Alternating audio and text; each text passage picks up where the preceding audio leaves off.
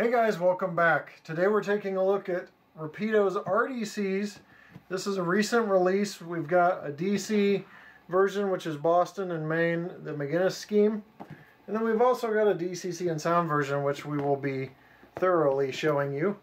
And that is a Baltimore and Ohio scheme. So let's get started on the review. About $300 for the sound version and about $200 for the non-sound version is what you're going to look at uh, paying around the market. So let's get started right now.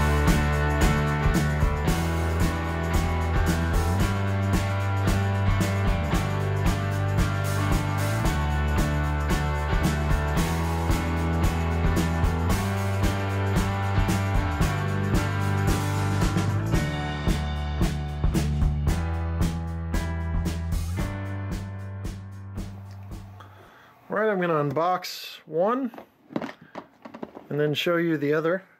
So we'll unbox the DC version first. You've got the RDC pamphlet, beautiful design here. Budd design, the Budd colors. Now Rapido has both French and English, so because they are a Canadian company, so French and English. English is on the other side, so we'll take a look at that on the manual here. You've got functions, you've got humor kind of injected in here, usually with uh, the personality of the owner, who's a very fun, loving guy. And you've got C CVs, you've got volume settings in the uh, CVs, how to factory reset, limited lifetime warranty, and that ends, ends at about 20 pages, and then there's some history so I'm going to show you that because I am recording several videos. I'm going to be out of town. So kind of a busy day. So you can pause on the screen if you want to read about the history. There's the functions. Again, pause on the screen if you'd like. But we'll go over a lot of this. And they are actually restoring an RDC. So if you'd like, visit rapidotrains.com and you can contribute to the restoration of that RDC because they saved one from scrap. That's it for the manual. You've got a White River Productions flyer in here. Railroad Model Craftsman, Model Railroad News. They're a great publishing company. There's more information about donating and saving the via or via RDC I always say it wrong and I can't ever remember which one is right. Exploded parts diagram and decal sheet to decal yours as you see fit. So that's all the goodies that come in the box.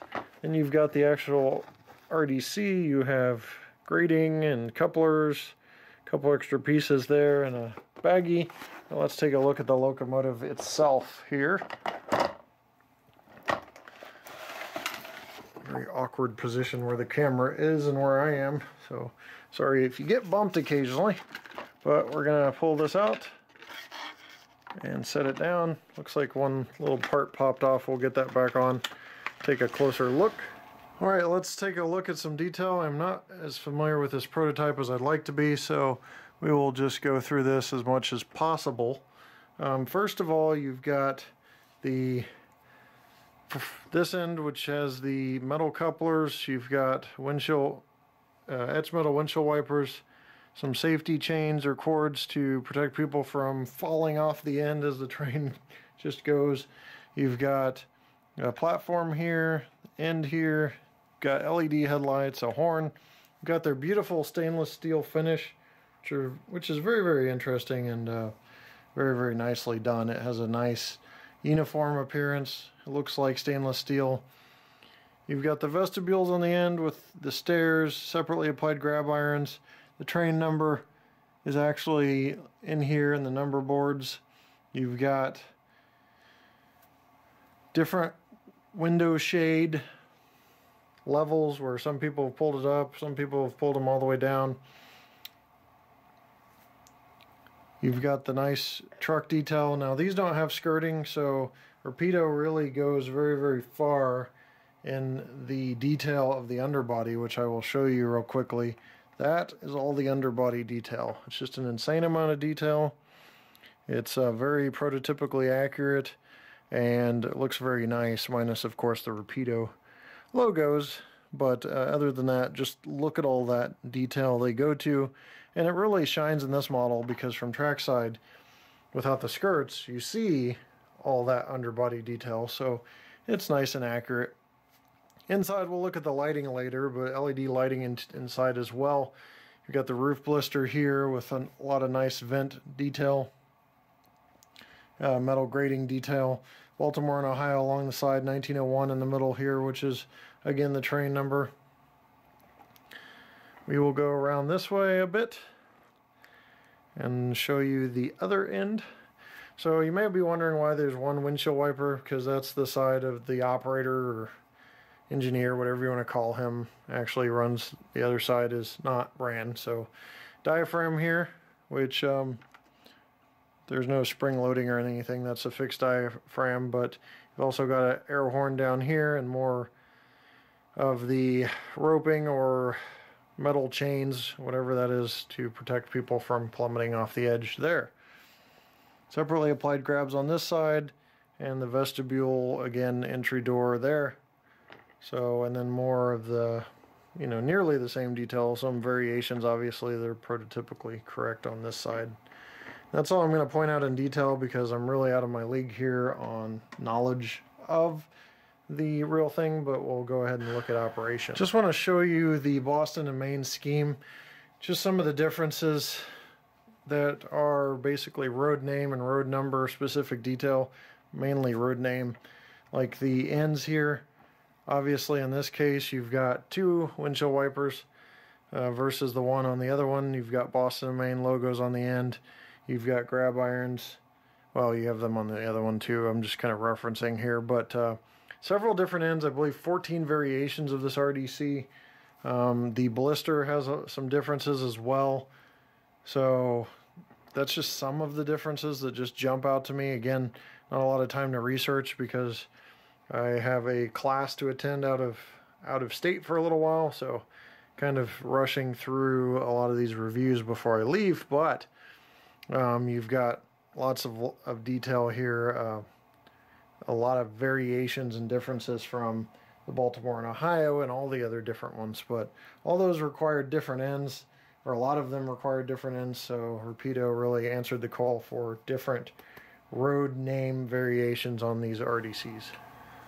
All right, pressing F8 starts the sequence on these, startup sequence, so we'll do that so you can listen to the beautiful sounds that the ESU LokSound decoder provides.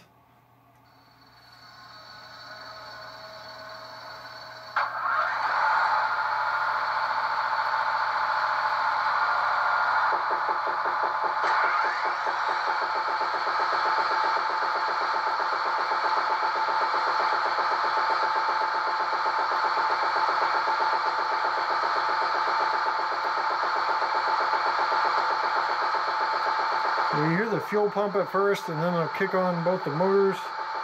Gonna take a look at some of the sounds here and some of the functions.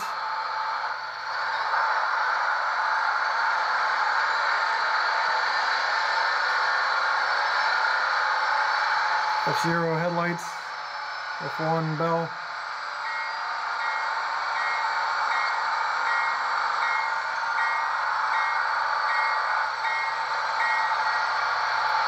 F2 horn. Oh, that is beautiful. I gotta do that again.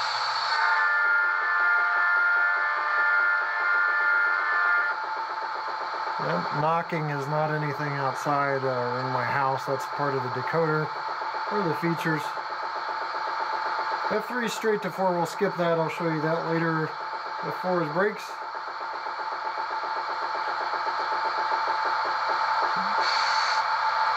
More of a actual moving thing. Actually applying the brakes won't allow the throttle to move up. F5 Doppler horn.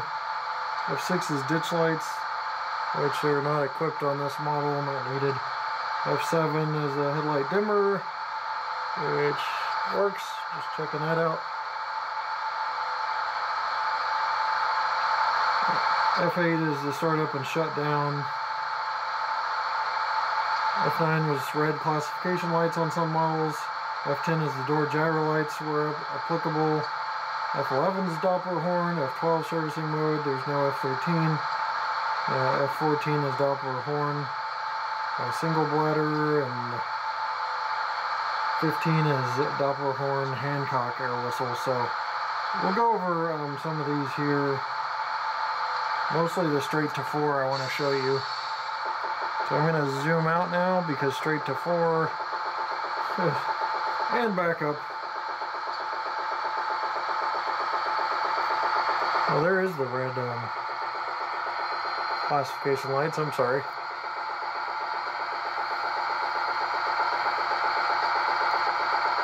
Alright, so F3.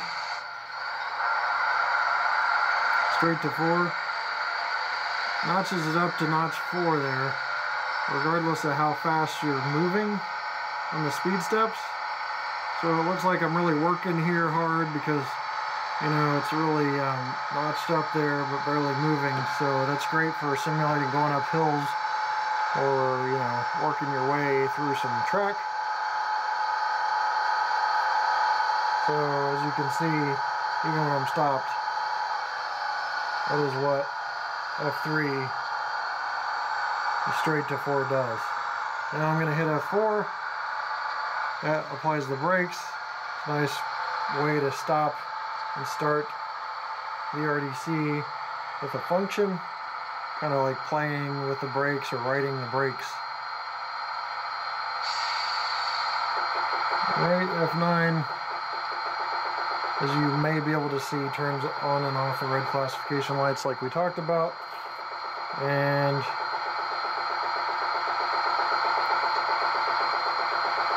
Those are all the functions we're going to cover right now because there's a lot of other features to cover in just very limited time in this review.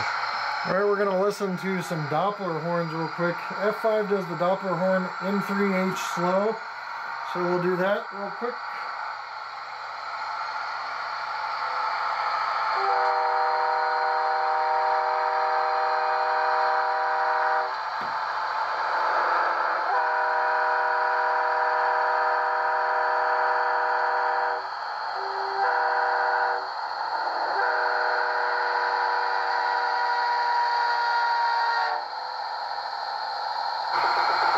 F11 is the M3H Fast.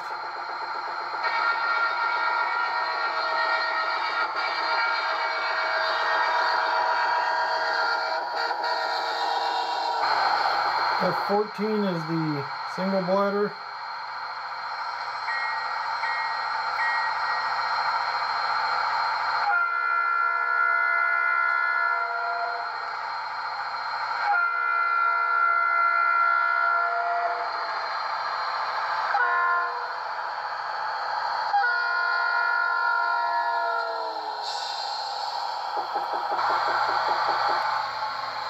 Function 15 is the air, the Hancock air whistle.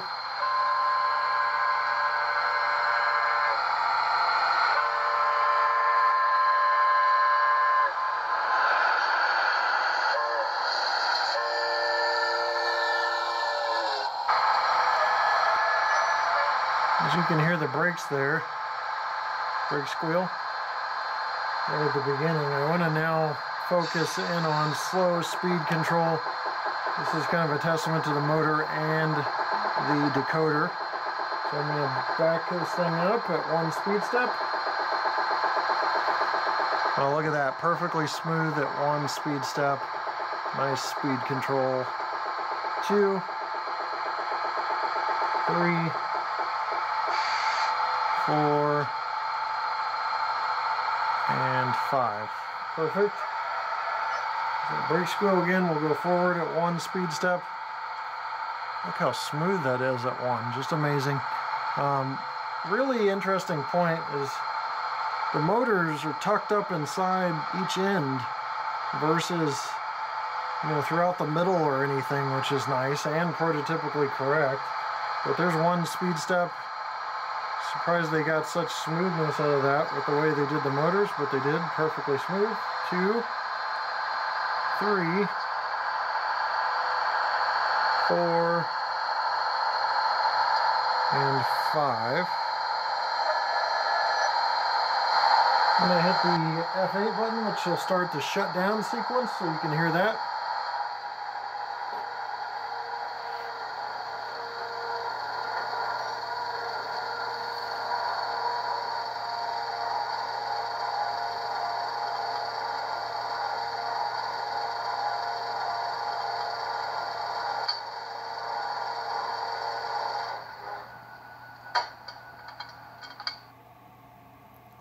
There you have it.